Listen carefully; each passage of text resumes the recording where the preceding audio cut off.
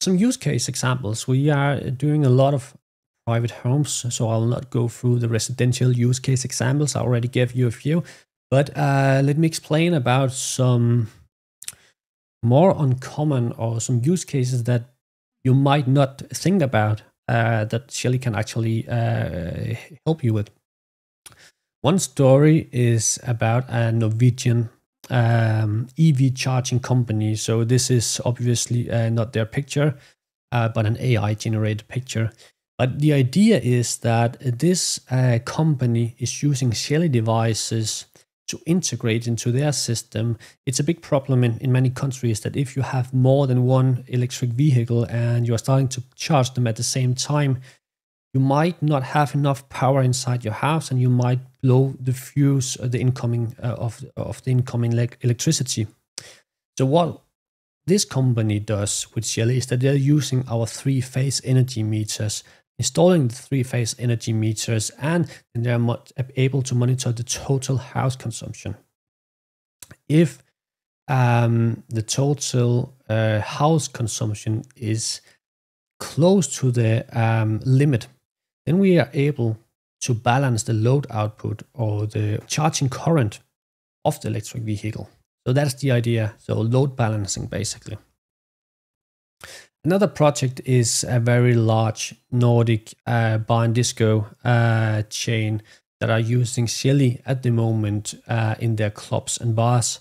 Uh, they use those uh, use our devices uh, in, in the clubs, bars, and discos to be able to uh, make weekly scheduling and to save a lot of energy consumption. Because why have your ventilation running 24 7 when you only have open two to four days a week? So uh, with some simple smart scheduling it is possible to turn on turn off the heating the coolers and much more only when you need it and, and then start saving a lot of electricity. And uh, another cool thing here is that they are able to monitor the energy consumption of all their bars, discos, and clubs uh, from their uh, main office.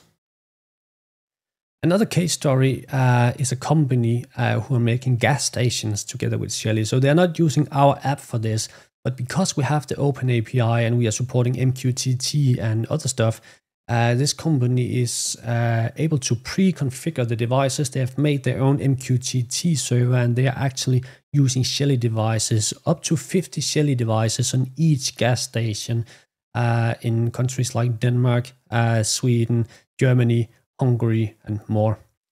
Um, they're using Shelly devices to monitor uh, coolers, freezers and similar. They're also using them to um, to control and monitor the temperature of the climate in the car washes. They're using Shelly devices to monitor the air compressors, and in general just to control lighting, uh, to monitor energy consumption and similar. Uh, this is a quite cool project uh, made by one of our Finnish partners. So this is the Levi ski resort, the biggest ski resort in Finland. So they are using Shelly devices to control the lighting, but they're also using Shelly devices to monitor uh, real life data about the weather, so the, the, the temperature and the humidity. And because of our open API, uh, the Levi Ski Resort are able to show real time energy data on the website uh, from measured by the Shelly devices. There's also a Sun Center chain in Denmark who are using Shelly devices. Uh, they had an issue with the payment terminals. Uh, sometimes they needed a simple reboot to start operating, and it can be quite cost, uh, quite expensive uh, to send out a technician just to reboot the device. So by installing a simple Shelly device behind each payment terminal, they could very quickly reboot the payment terminals when they are getting a support call, uh, saving a lot of time, saving a lot of money, and actually this company become uh, became very happy about uh, the whole project. So now they started to use Shelly for their uh, access control, for energy metering, for lighting control, and uh, and much more.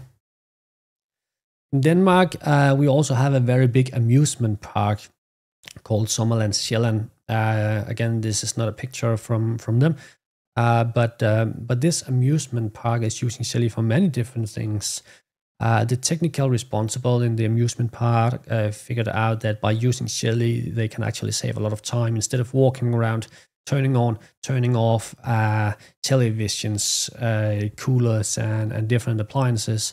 Uh, it's much easier to install Shelly around the park. They have uh, Wi-Fi available in in most of the areas of the park, and in the areas where they don't have um, Wi-Fi connectivity, we are actually able now to control the devices as well because we have just launched the long-distance communication module, which makes it possible to, to control devices up to five kilometers away.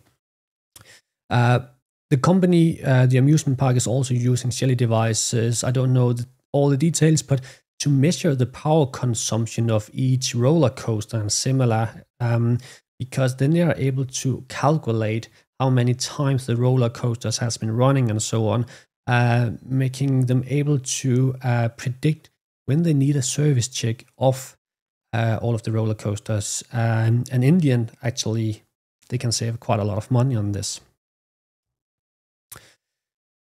Um, we have a lot of uh, partner integrations also when it comes to PV and energy solutions. Uh, so this is just a part of them, some of the most uh, interesting ones. Uh, we are working closely together with some of these companies, but some of the companies also just decided to integrate Shelly into their own app without asking us. Uh, and this is doable because we have the open API, which everybody can access and uh, to make local integrations.